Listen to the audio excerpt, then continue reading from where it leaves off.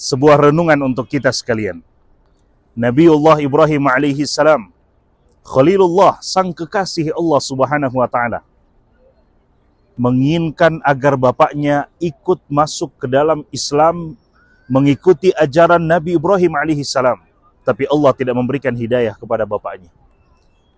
Nabi Nuh alaihi salam yang dikabarkan oleh Allah sebagai abdan syakura, hamba yang pandai bersyukur, menginginkan agar anaknya ikut dengan dakwahnya, memeluk Islam, mentauhidkan Allah, tapi Allah tidak memberikan hidayah kepada anaknya.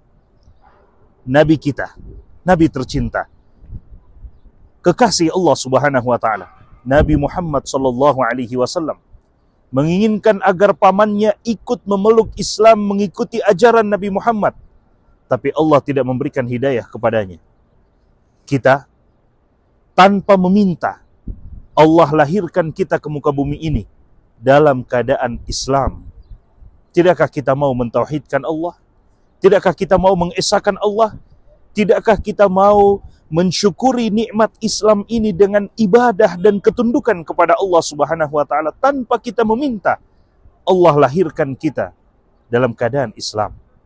Syukuri nikmat Islam dengan ibadah kepada Allah Subhanahu wa taala dengan ketundukan kepada Allah Subhanahu wa taala dengan pengesaan kepada Allah Subhanahu wa taala.